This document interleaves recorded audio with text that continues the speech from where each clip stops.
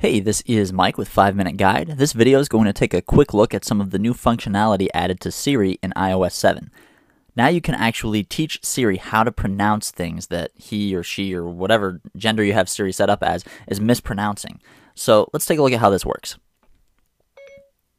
Who is my wife?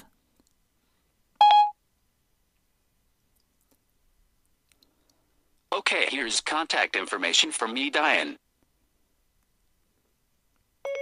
That's not how you pronounce that.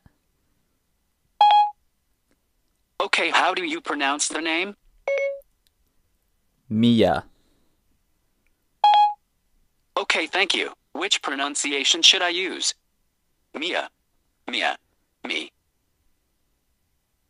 Okay, how do you pronounce the name? Dion.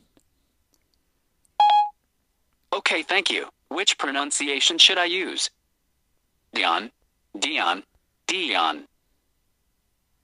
Dion. Got it. Awesome. It's Mia Dion. From now on. And there you have it. Very simple, straightforward. As usual, please like the video, subscribe to our channel, and I'll see you next time.